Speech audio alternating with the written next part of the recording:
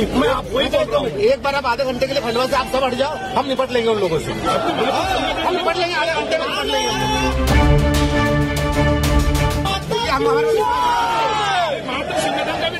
मध्य प्रदेश में एक और कांग्रेस की भारत जोड़ो यात्रा निकल रही है। तो वहीं दूसरी ओर शांति माने जाने वाले खंडवा में दो पक्षों के बीच विवाद की स्थिति बन गई। इस बीच एक हिंदूवादी नेता का वीडियो वायरल हो रहा है, जिसमें वो पुलिस से आधे घंटे के लिए हटाने की बात कर रहे हैं, जबकि मुस्लिम पक्ष के लोग खंडवा में अमन चैन की बात कर रहे हैं।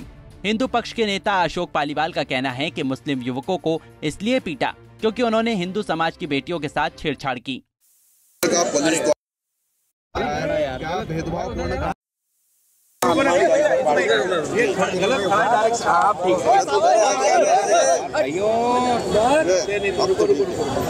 मतलब ये किस तरह की जो जो विरोध है? विरोध वाला विषय ये है कि शहर में आए दिन जिहादियों के द्वारा हमारी बहनों को छेड़खान की घटनाएँ बार बार बढ़ती जा रही है और चूँकि यह निवाड़ की पावन भूमि है, श्री दादाजी की नगरी है, यहाँ पर इस प्रकार की घटनाओं को अब सहन करने की समाज में शक्ति नहीं है और सारी घटनाएँ उजागर हो जाती है। तो कल एक बहन जब अपने द्वारा छेड़खानी की गई उसके ऊपर तो उसकी एफआईआर दर्ज करवाने जब वो थाने जाती है तो उसकी एफआईआर लिखी नहीं जाती तीन घंटे तक। और दूसरा पक्ष आता है उनके दो चार पाँच आपस में ही लड़ गए होंगे या जो भी हुआ होगा घटना को लेके कि हमारे साथ मारपीट की गई। तो मेरा तो ये कहना है कि जहाँ छेड़ोगे, वहाँ मारेंगे। जहाँ दिखोगे, जहाँ छेड़ोगे, वहाँ मारेंगे। समाज का अधिकार है। यहाँ पर अब कोई भी श्रद्धा काटी नहीं जा सकती। तो श्रद्धा को बचाने के लिए अगर हिंदू वीरों को इस प्रकार के जिहादियों को मारना भी पड़ेगा तो वो लड़ेगा और मारेगा। तो हमारा प्रशासन से कहना है कि उन्होंने मार खाई छेड़खानी करके। तो आपने उनकी घटना की एफआईआर करी। पर हमारी बहन के साथ जो छेड़खानी की घटना हुई, उसके साथ उसकी एफआईआर क्यों नहीं की गई? इसलिए उसके साथ भी उसकी घटना की एफआईआर की जाए। उस एफआईआर के लिए हम यहाँ पर बैठे हैं, क्योंकि अब तो जो छेड़खानी करेगा, वो खड़वा में नहीं, वो सभी जगह मार खाएगा। मार खाने का ये मतलब नहीं है कि उसके द्वारा किया गया अपराध से वो बच जाएगा। उसके द्वारा जो अपराध किया है, वो भी अपराध दर्ज होना चाहिए। पुलिस का काम है कि माता बहनों को सुरक्षा देनी चाहिए। इस प्रकार जो बहनें आगे आके स्वयं के ऊपर जो अत्याचार हो रहा है उस घटनाओं की अगर कार्रवाई करवाने आ रही है तो उनका भी काम है कि कार्रवाई की जाना चाहिए। हिंदू संगठन शहर में भय का माहौल बना रहे हैं। हिंदू संगठन भय का माहौल नहीं बना रहे हैं। हिंदू संगठन भय का माहौल घटा रहे हैं। भय का माहौल समाप्त कर रहे हैं। वो हर जगह जाके खड़े हो रहे हैं, वो अपने आप को दाव पे लगा के खड़े हो रहे हैं। इस प्रकार की घटनाएँ और अन्य जगह पे छुप जाती है। हमारी बहनें बाहर आ रही है, संगठन बाहर आ रहे हैं, अपने आप को दाव पर लगा के और इस प्रकार की घटनाओं की कार्रवाई कर रहे हैं।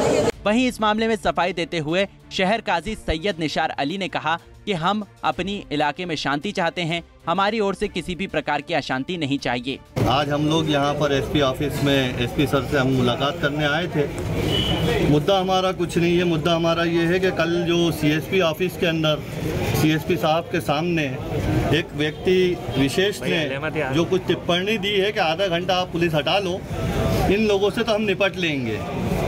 तो मीडिया के माध्यम से मैं आप लोगों के सामने ये गुजारिश करना चाहता हूँ कि ऐसा व्यक्ति अगर उसने ये शब्द कहा है तो कहीं ना कहीं उनकी कोई ना कोई तैयारी तो होगी। ठीक है? रही बात यह है कि खंडवा का मुसलमान समाज जब भी कोई आंदोलन करता है डेलीगेशन लेके आता है, आज भी आपने देखा, इससे पहले भी आपने देखा, हज़ारों की तादाद में जमा ज़रूर हुए हैं, लेकिन तमाम लोग खामोशी के साथ अपना एहतजाज करते हैं। लेकिन कल की घटना की हम निंदा करते हैं, वहाँ पर पुलिस प्रशासन के खिलाफ नारे लगाए गए हैं। पुलिस प्रशासन को मुर्दाबाद कहा गया है, खाकी खाकी वर्दी के गद्दारों को गोली मारो, सालों को ऐसे नारे लगाए गए हैं। हम पुलिस प्रशासन से ये मांग करते हैं कि पुलिस प्रशासन जो है ऐसे व्यक्तियों के ऊपर सख्त से सख्त कार्रवाई करे, ताकि आने वाले वक्त में हमारा शहर जो है, हम जो चाहते हैं अमन अमान का टापू बना रहे, वो बना रहेगा। और रही बात आधे घंटे की तो आधे घंटे की तो बात छोड़ो साहब, अल्लाह ताला की मदद हमारे साथ है। वक्त बताएगा क्या होगा। अब मामले में खंडवा एसपी विवेक सिंह ने कहा कि मामले की जाँच कराई जा रही है और जो भी दोषी मामले में पाया जाएगा, उसके खिलाफ सख्त कार्रवाई की जाएगी। अभी मुस्लिम समाज का एक प्रतिनिधिमंडल आया था यहाँ पे और उन्होंने बताया कि कल जो सीएसपी कार्यालय के बाहर कुछ लोग इकट्ठा हुए थे एक शिकायत के संबंध में उसमें उन्होंने कुछ ऐसी बातें की हैं जो कि आपत्तिजनक है और जिस पे कार्रवाई करने के लिए उन्होंने ज्ञापन दिया है। मुस्लिम समाज ने और जिस पे हम पूरे ज्ञापन को देख के और जैसा पाया जाए तो हिसाब से उसमें कार्रवाई की जाएगी। कुछ नारेबाजी थी सर वीडियो में? हाँ, कुछ उन्होंने वीडियो फुटेज और वो सारी भी पेन ड्राइव भी दिया है और ऐसी चीज़ बताई कि उसमें आपत्ति नारेबाजी और चीज़ों का प्रयोग किया गया है और जिससे कि कहीं ना कहीं का सांप्रदायिक सद्भाव बिगड़ सकता है ऐसा उन्होंने बताया है जो प्रतिनिधिमंडल था। और जिसमें हमने बताया कि उसमें जाँच में जैसा पाया जाएगा उस हिसाब से उसमें कार्रवाई की जाएगी। सर वो वाला बता दीजिएगा ना कल जो लड़की दरअसल खंडवा के दुबे कॉलोनी में हिंदू समाज के लोगों पर मुस्लिम युवकों से मारपीट का आरोप था। जिसके बाद मुस्लिम समाज ने थाने का घेराव करते हुए 20 लोगों पर एफआईआर करवाई थी। पुलिस के इस एक्शन के बाद दूसरे दिन बुधवार को रिएक्शन देखने को मिला, जिसमें आधे घंटे के लिए पुलिस हटाने की बात की थी, जो अब सोशल मीडिया पर तेज़ी से वायरल हो रहा है। पंजाब केसरी टीवी के लिए खंडवा से निशात मोहम्मद सिद्दीकी की खबर। हमसे जुड़े रहने के लिए हमारे YouTube चैनल को सब्सक्राइब करें और नई वीडियो की नोटिफिकेशन के लिए बेल आइकॉन को दबाएँ।